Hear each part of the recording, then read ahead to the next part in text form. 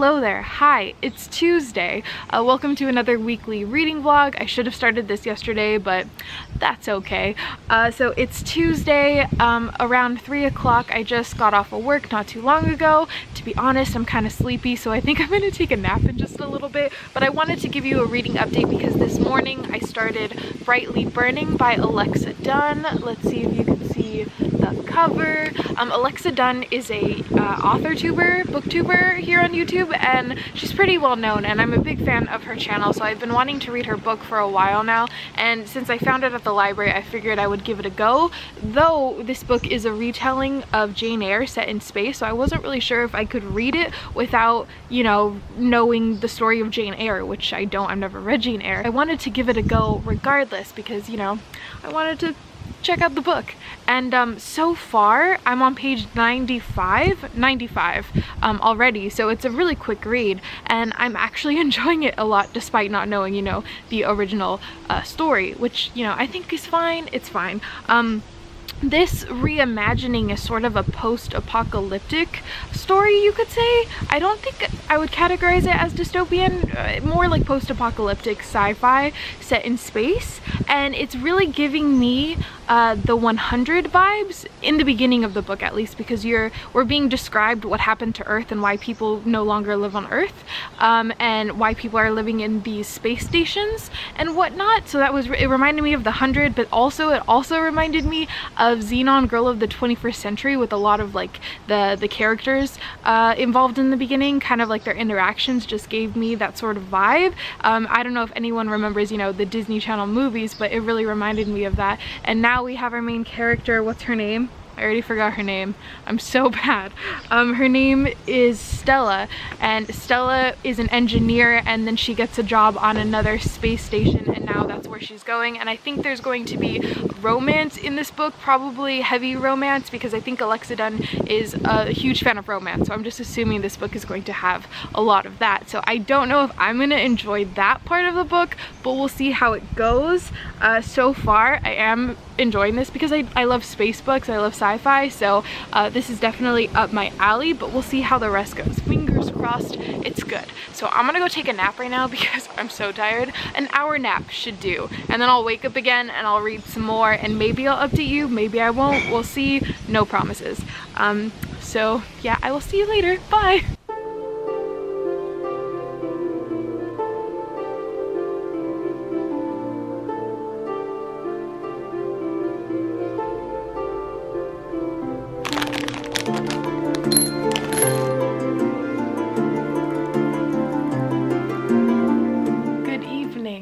It is around 9 p.m. on Wednesday. Is it Wednesday? Yeah, it's Wednesday. And um, I'm about to go to bed because I have to be up around 4 in the morning. Um, but I forgot to give you a reading update. Um, so reading update now. Um, I had a tragedy today, you guys. Um, I forgot my book at work again. I can't believe I did it again. It's ridiculous.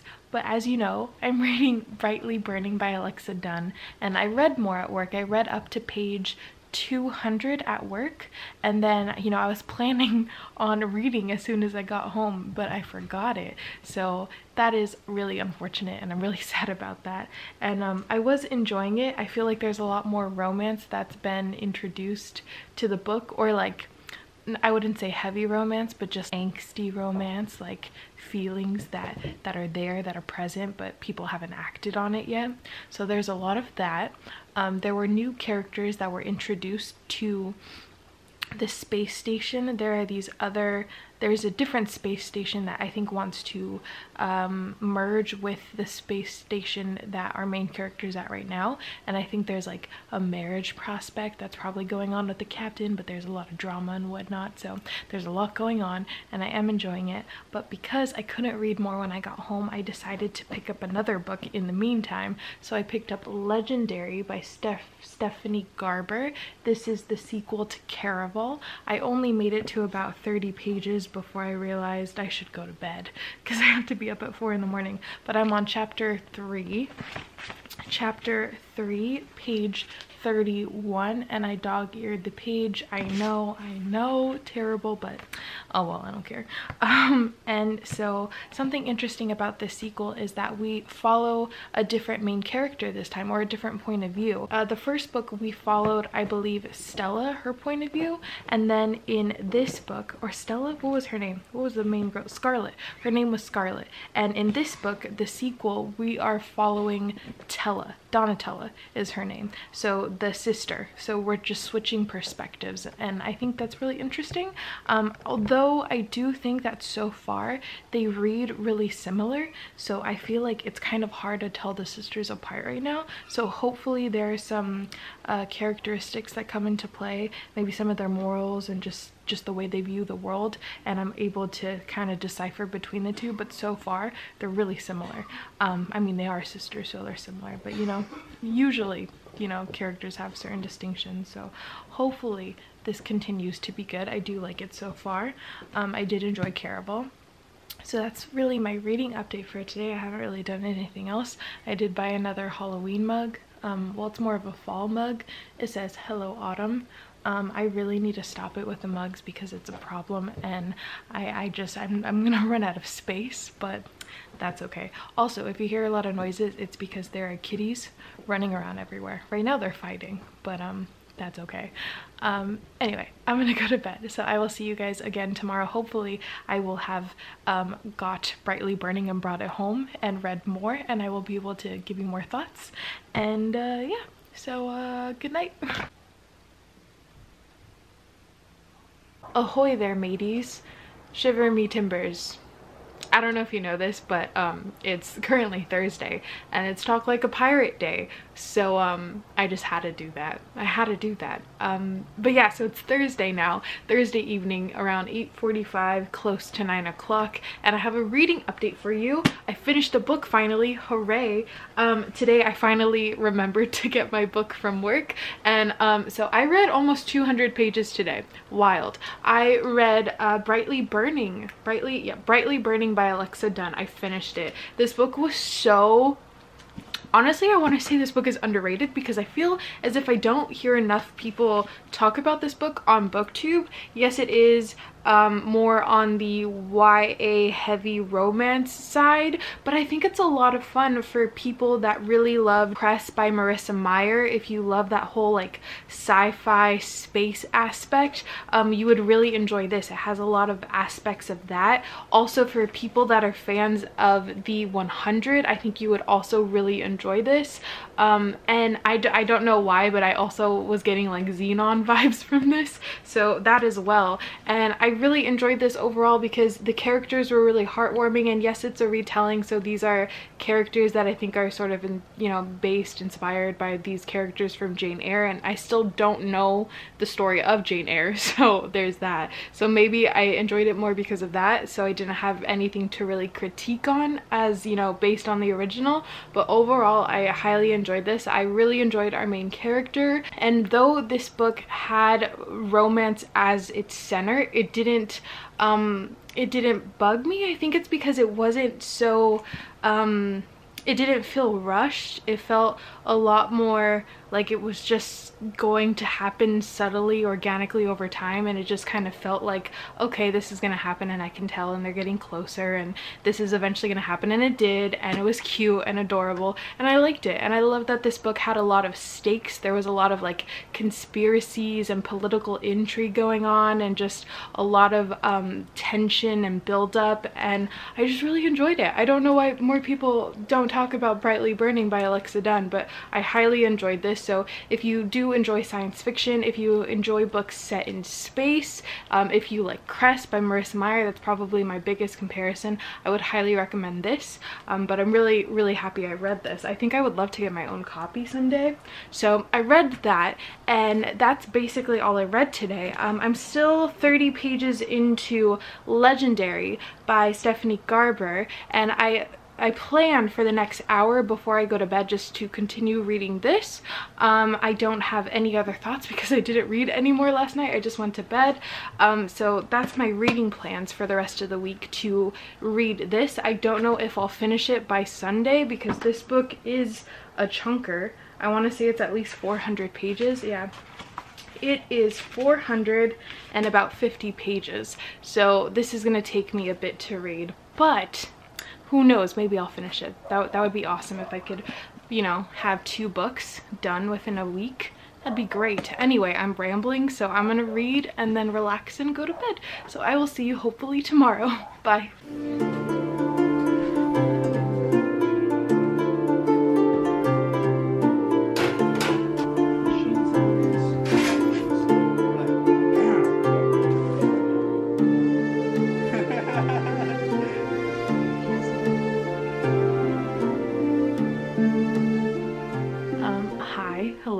It is Friday evening. It is Friday around, I want to say it's probably already 10. I just got home uh, from my boyfriend's place. We hung out, watched Casper, made cookies. It was a good time.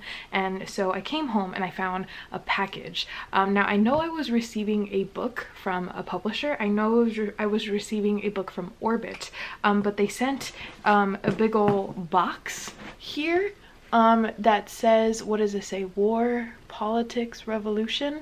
I know what the book is. It is by Joe Abercrombie. It's um, his new release, so I had to say yes when they asked me. So I'm gonna flip this camera and we're gonna open it together. Now, for those that don't know, I love Joe Abercrombie. I love dark fantasy, and I'm so excited. So let's let's open this. Okay, here we go. Ready, guys? Are you ready? Let's open it. Oh, whoa. Okay. The Age of Madness has arrived. Whoa. Rip. Come on. Okay, I'm struggling. Here we go. Whoa. Okay. This is fine. Come on, I can't do this one-handed. Okay. Whoa, okay. Here we go. Joe Abercrombie, A Little Hatred. Look at it. Oh my god, they sent me a finished copy Holy smokes. I love Joe Abercrombie so much. The Age of Madness book one. I have no idea what this is about except that it I think takes place in the world of the First Law trilogy, which I love so much. Oh my gosh, I am so happy right now. Look at that cover. Holy smokes. It's so beautiful a tale of brute force and subtle magic set in a world on the cusp of an industrial revolution. Buckle your seatbelts. Robin Hobb blurbed it. Who else blurbed it? Pierce Brown? Nicholas Eames? Oh my goodness. Oh my goodness. I am so excited for this book. Should I drop everything to read it? Because I think I should. I think I might have to. Oh my goodness, I am so happy right now. Look at this thing. This is such a chunker. This book is, let's see, how long is this book? 460 pages. Not too bad. Not too bad. I can't wait to read this. Oh my goodness. Thank you Orbit for sending me this book. Ah, oh, a finished copy. Feel so special. Anyway, okay, in other news, I didn't read much today because today was crazy at work and I didn't even really get a break. Um, so I've only read up to page 62 in Legend by Stephanie Garber, unfortunately. I do plan to make myself a cup of tea and read as much as I can until I fall asleep today. Um, so that's the plan. As for what I've read, I don't have much of an update. We're still reading from the point of view from Donatella, the sister, and I like it so far. I guess there's a lot of sort of background information we're getting on the family which I like um, so that's good and um, yeah so let's just hope I keep reading more. I would love to finish this by the end of Sunday. We'll see. I don't know but I would love to do that. Let's do it. Let's do it. Let's do it. Let's do it. Okay I'm gonna I'm gonna go. I'll see you tomorrow. Bye.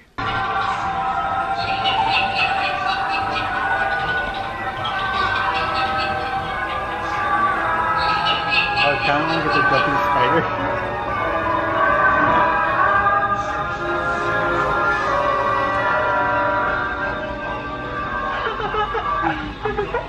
Hello there. Hi. It is Sunday. It is Sunday. I just got off of work. It is around uh, like 2 or something like that. And um, I can't believe it's Sunday. This week went by really fast. You know, it was Monday and then boom, it's now Sunday. Where to go?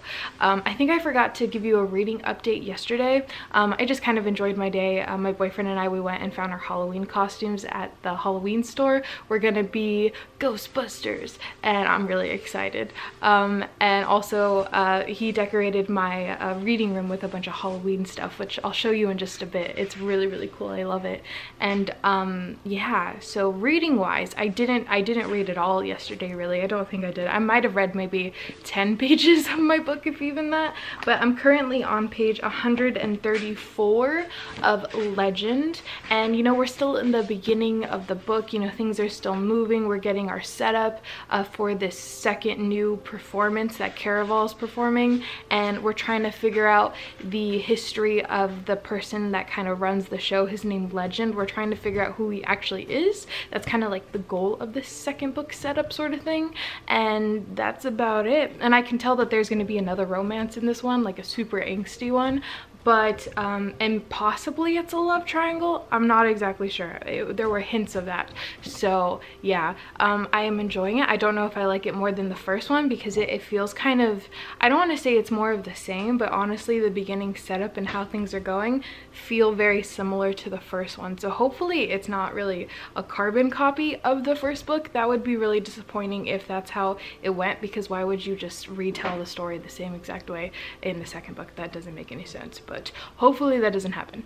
Um, so that is my reading update for, you know, basically Sunday. I do plan for the rest of the, the day to just read until I go to bed around like 9 or 10. So we'll see how far I get into this book. I don't think I'll finish it, unfortunately. That was my hope, um, but it doesn't look like that will happen because I still have 300 more pages. I mean, it's not impossible, but I would probably have to stay up pretty late to finish it. Um, so we'll see what happens. You know, if I can read at least another 100 pages, I'd be happy. So yeah, I'm gonna go read and I'll show you my, my reading room, how it looks because it's all spooky and cool. It's more cute than anything, but uh, yeah, okay. So when you walk in, you have these little spider webs and they're super cute. There's like this pumpkin right here. There's more webs up there. We have my bookshelf here, which is, that's my old camera. Here we have my bookshelf that is covered in this uh, fabric and I think it looks really really cool. And then over here we have more spiderweb stuff. It looks super creepy. More spiderweb stuff over there and a pumpkin. And then you have my actual bookshelf here which we have some stuff going on here. Like we have this pumpkin that pumpkin a spider what else do we have? We have skeletons that fell off the shelf, so I have to put those back up. Um, and then we have like this little leaf decoration. There's a kitty. Hey, Binks. Binks say hello. No, you know you're not supposed to. Um, and then we have another pumpkin. We've got this cool little pumpkin that my boyfriend made. It's adorable. Um, we have more pumpkins and like these little fake candles and spiders these little signs that I think are adorable and then up here we have more of that fabric with spiders and we have that boo ghost thingy and some witches. And it's just adorable. It's adorable and I love it so much. And there is a kitty. Binks you're not supposed to play right there. No not you too Tarzan we have reached the end of this reading vlog. It is now uh, still Sunday, but it is around 9 o'clock, and I have read up to page 240 of Caraval. Not Caraval, Legendary. I have read up to page 240 of Legendary, so I still have about 200 pages left of this book, and I do plan to read more, but I'm gonna go take a shower right now, and then after just, just relax and read before I go to bed. So that's my plan plan but I just wanted to end it here to let you know where I'm about. You know I still have 200 pages. I think I could probably read the rest tomorrow to be honest so I think I'll finish this book tomorrow. So you'll see my end thoughts in my next reading vlog. But as for right now I do I am enjoying the book. Um I one thing that I think is just really interesting but also a little bit aggravating about this book and story in general is that this whole um, performance thing that's going on in the first book and in, in, this book is all just it's all fake. It, it could be real but it could be just complete just bupkis. It could be bull. So you you don't truly know if what's happening is is true or if what the the characters are saying are lies or if or if it's if it's actually happening if it's just uh, on for the show or if the stakes are real or if the stakes are not real. So it has me just so confused because I'm wondering okay is this character saying the truth? Are they lying? Is it all an act? Are they deceiving them? What is going on? And it's making me it's definitely keeping me interested because I want to know what's going on so I have to keep reading. But at the same time I just I'm kind of to the point where I'm like okay come on can we just figure out what's going on and I know that there's one more book in this trilogy so I have a feeling that I'm not even going to figure out who the main guy behind the performance legend, who he actually is. I have a feeling that won't be revealed till the next one. Um, if that happens, I might be very annoyed, but we'll see what happens. Um, so overall, I do find it fun. I mean, it's, it's, you know, this carnival, it's so magical, the costumes, the characters, the act, everything, it's great. But at the same time, I just want to know what's real and what's not real. So yeah, that, that's my thoughts on this book so far. I read half of Legendary and then I finished Brightly Burning, so a book and a half read this week. Could have done better, but you know, that's okay. It's okay. I had a good week nonetheless. So I hope you all had a good reading week as well. Let me know what you read. Did you like it? Did you not like it? Leave your thoughts down below. I want to chat with you and I hope you have a good one and I will see you very soon. Bye.